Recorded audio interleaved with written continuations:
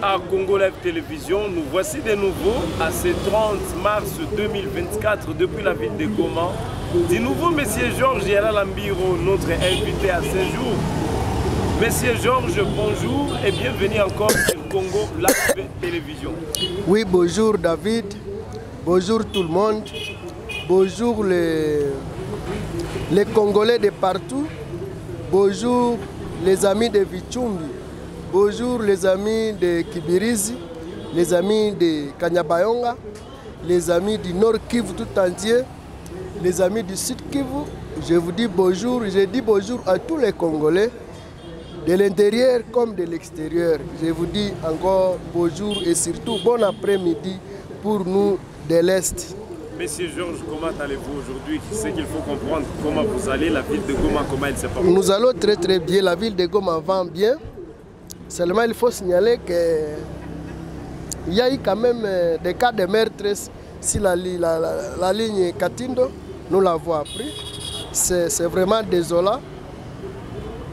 Il y a une autre euh, un incident, mineur qui s'est produit aux côtés de deux lampes chez Kimburu. Nous déplorons cela parce qu'il y a eu fusillade des éléments incontrôlés de Wazalendo qui ont tiré sur les motards et sur des passants parce qu'il y avait un accident de circulation. Nous déplorons. Euh, mais nous disons aussi, merci beaucoup pour les, services de, renseignement, de, services de, de, sécurité, pour avoir arrêté autant de, criminels. Plus de 70, c'est beaucoup. 76 criminels, femmes et hommes, c'est quand même un point vraiment à applaudir. Nous disons, mais sinon, à part ça, la ville de Goma va très très bien. Elle va très bien. Tout va bien, tout marche. À part, à part la grève des commerçants à Birere, qui a été levée heureusement hier et aujourd'hui, la ville a repris toutes ses activités à la normale. Aujourd'hui, euh, est-ce qu'il faut toujours dire que ces personnes qui pensent d'après eux qu'il faut assiéger la ville de Goma, qu'il faut prendre la ville de Goma, comment vous constatez cela Ils se trompent. Il se trompe. L'ennemi se trompe. Lui croit qu'un jour, il pourra franchir et assiéger la ville de Goma. C'est zéro, c'est zéro. C'est impossible. Ils ne parviendront pas.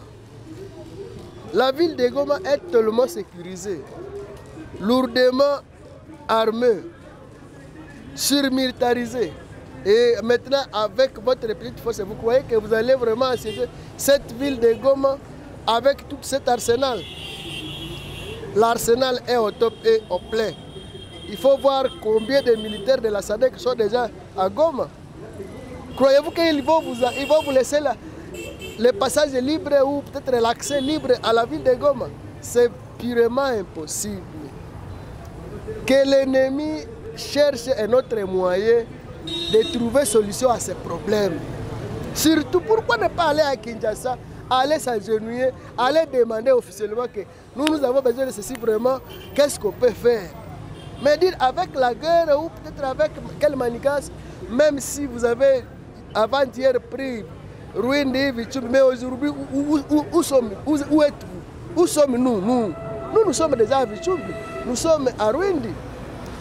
D'ailleurs, d'ici là, même, même, Kibirizi, vous avez cru que parce qu'on vous a laissé un passage libre, on vous a, on vous a laissé, nous avons les certains, certains éléments incontrôlés, certains éléments très hauts, vous ont abandonné les localités et vous avez cru que c'était déjà un terrain gagné, un pari gagné, une terre conquise. C'est impossible.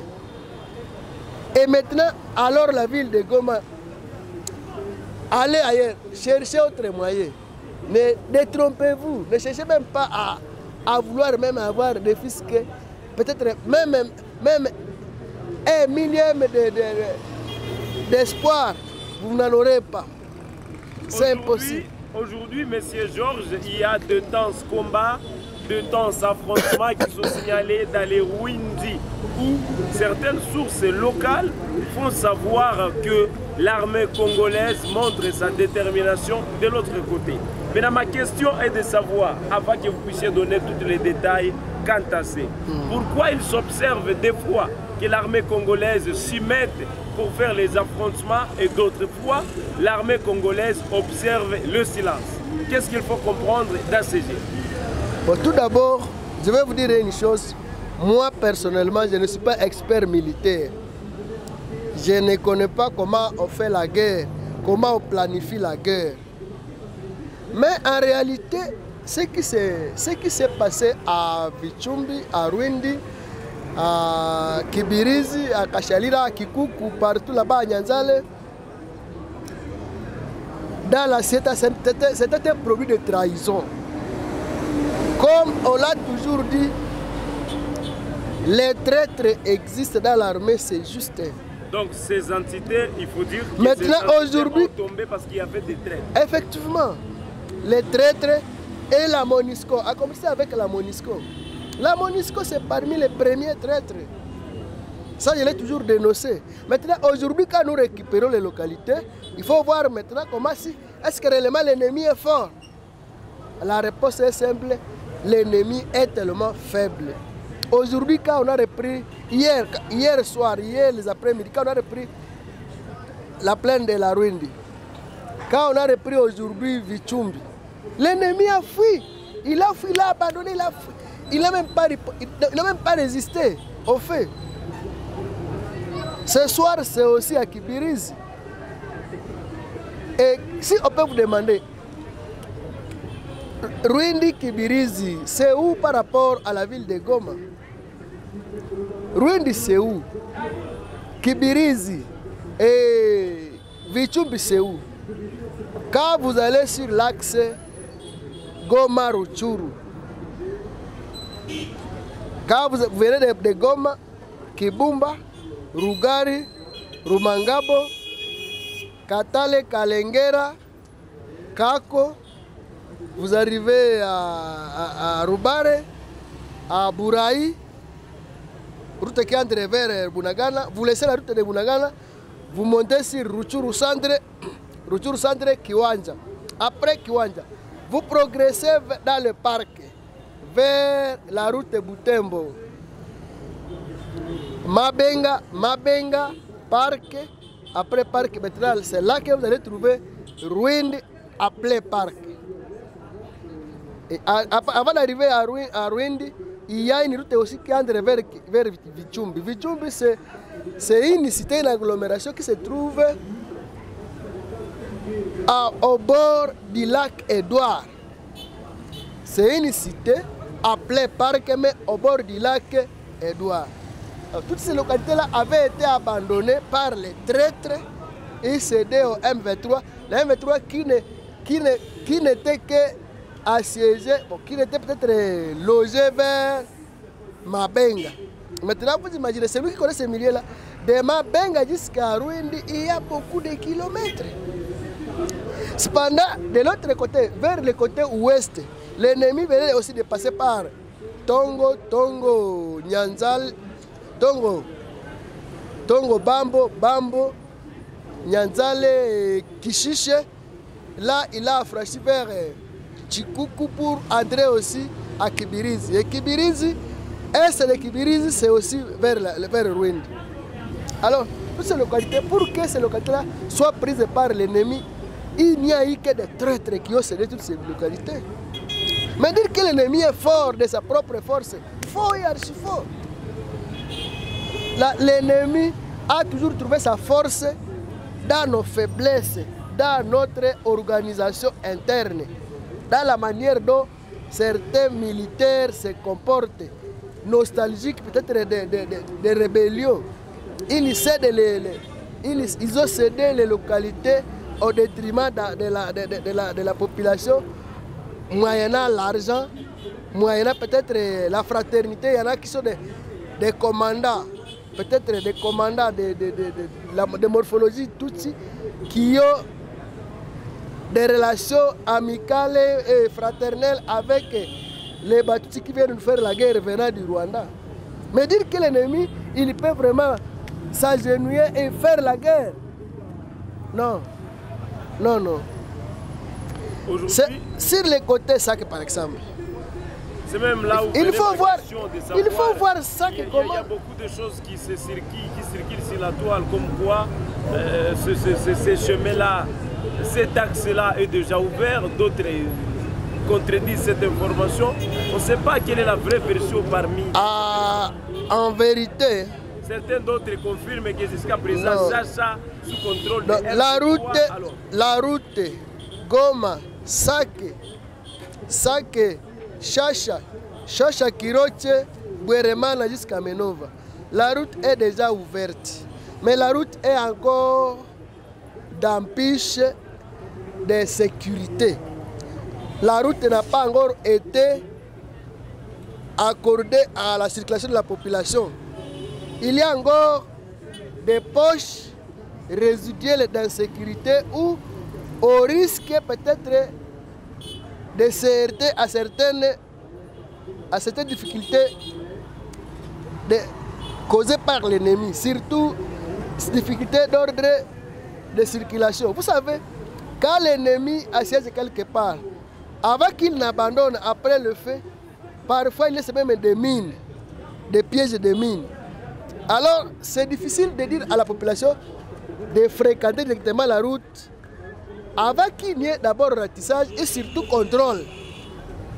Mais sur moto, les Ouadalors déjà traversent cette route. Ils quittent Sac jusqu'à Bwereman à Minova sans aucune inquiétude. Donc il faut noter que les rebelles du 23 ne se trouvent plus sur cette. Ils ont été chanceux. Il y a de cela après sur l'axe 72 Goma, heures. Non, non, non, non. La- L'ennemi est encore à Mouchak. Là, vraiment, non. L'ennemi est encore à Mouchak. La cité de Mouchak, on alla vers euh, Massissi Centre et, aussi Rubaya. L'ennemi encore coupe la route au niveau de Mouchak. Monsieur Georges, on parle ici, merci d'abord pour ces précisions de taille. oui. On parle ici de ces euh, audiences qui se poursuivent. Hier, c'était le jour de plaidoyer, plaidoirie, La plaidoirie. de plaidoirie Mm, euh, pour euh, ces 11 officiers qui ont été arrêtés, mm, accusés pour euh, faux usage de faux, fuite devant l'ennemi, Mm. détournement du solde de militaires. oui. Le, le ministère public a fait une réquisitoire pour Mm. certains, Mm. un réquisitoire pardon, pour, Une certains, réquisitoire et réquisition. pour, pour- pour certains comme 20 ans de prison. Mhm. Pour d'autres, Peine capitale. peine capitale, peine de mort. oui. Aujourd'hui, avec euh, cette mesure, certains, euh, ben, certains pensent que ce n'est pas vraiment le temps de le faire parce que ça sera un moyen que certaines personnes vont utiliser pour se rendre les comptes. Ça, c'est un. Deux, d'autre part, plus loin que ça. Ils pensent que utiliser cette même mesure-là sera utilisé pour les opposants, les mêmes gens qui ne partagent pas même opinion avec le pouvoir en place. Que pensez-vous Moi, je pense que les gens se détrompent. C'est une tromperie que moi je peux appeler une tromperie à outrance. Donc les gens ne sont pas informés. Quand on requiert à quelqu'un une peine capitale, peine de mort, c'est la justice. La justice, elle est indépendante. Est-ce que vous croyez que quand la justice se- prononce, elle considère d'abord les gens? La justice n'est pas politique. La justice n'est pas aussi, euh, elle n'est pas aussi une université là où on peut encore poser les interrogations ou les deuxièmes sessions, je sais pas, si pas, si pas réinterrogation. Non. La justice, ou bien on prononce, ou bien on ne prononce pas. Et quand on prononce, quand la justice prononce, elle laisse l'apanage maintenant à quoi? À celui qui exécute le jugement, ce qu'on appelle l'exécution de- du, jugement. Le jugement, quand il est sorti, il y a l'étape d'exécution. Moi, je pense que si on a levé le moratoire, c'était pour que les gens maintenant apprennent à se rééduquer. Moi, je, moi, je ne dois que dire que la peine de mort, maintenant, c'est le moment qu'on la démontre et que cela maintenant soit une grande éducation. Et d'ailleurs, peut-être pour les autres, D'une manière, ma- interpeller eh, les gens. Oui, une, une interpellation.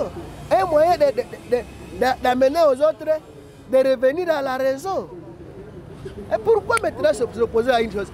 Hier, on disait que non, l'impunité, l'impunité. Les mêmes personnes qui parlaient de l'impunité, maintenant, aujourd'hui, quand on dit peine de mort, ils se disent non, non, non, non, vous voyez, vous voyez, encore peine de mort. Ça risque alors de profiter encore à, l'opposition ou à l'ennemi. Non pourquoi plusieurs fois les a crié à l'impunité?